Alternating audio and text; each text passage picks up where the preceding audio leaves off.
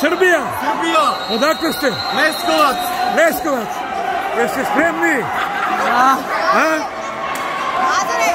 Hoće li biti medalja? Hoće. Hoće, bravo. Ti? Hoće. Šta kaže trener? bit će puno medalja. Opa, Idemo. jeste obezbedili kofer da? Jesmo, jesmo, jesmo. A je li ovo najmlađa? Ajmo dalje, Sara. Ajde. Evo Valjeva iz Valjeva. Medalja! Bravo!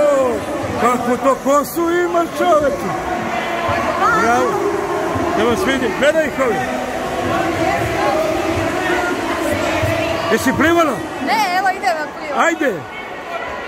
Na... Ti nisi još? Čekaj da vidim kako žene kosu spremaju. Da, da. Nemoj frizuru samo da pokvariš, molim. Nemoj. Evo ovo je rekla medalju osvaja, ajde da vidimo. I ja mislim da osvaja medalja ovo veliko. Hoće li medalja? Hoće. Ajde, skini majicu. Cepe, cepe, cepe.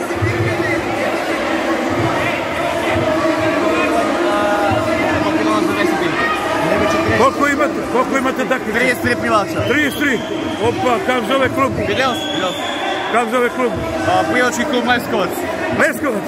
Ajde. Srećno. Ajmo, ajmo, ajmo, ajmo. Daj ja stavimo i cepe. Kamo je tvoja? Kad će tvoja? Sad ćeš malo. Ej, šta čekaš tu bre? Au, kakva gužva. Au, kakva gužva.